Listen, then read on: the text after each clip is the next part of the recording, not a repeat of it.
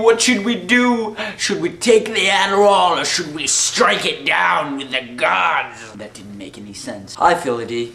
And Merry Christmas. Okay, you got your Ritalin and you got your Adderall. Do you want them over the counter? I say, no way. See, the problem with having Ritalin and Adderall over the counter is people abuse them. See, I know some people, not gonna name names, they do things like snort Adderall. Now, I'm not saying everybody's gonna do that, but I'm saying that kids are going to be more likely to experiment with stuff like this if we put them over the counter. Cough medicine. What did kids do with it? They fucked around with it. They drank too much of it. They got high off of it. What are they going to do with Adderall and Ritalin? They're going to get high off it. They're going to abuse it. They're going to do all this shit to it. Philly D, listen to me. You probably like the Adderall. I mean, I love Adderall. It makes you think faster and all that shit. But it still needs to be medicated because people will abuse it. No matter how many Jesuses there are out there, there are gonna be as many devils. And you can call me stupid for saying that, but it's the way it's always gonna be. Thanks, Philly D.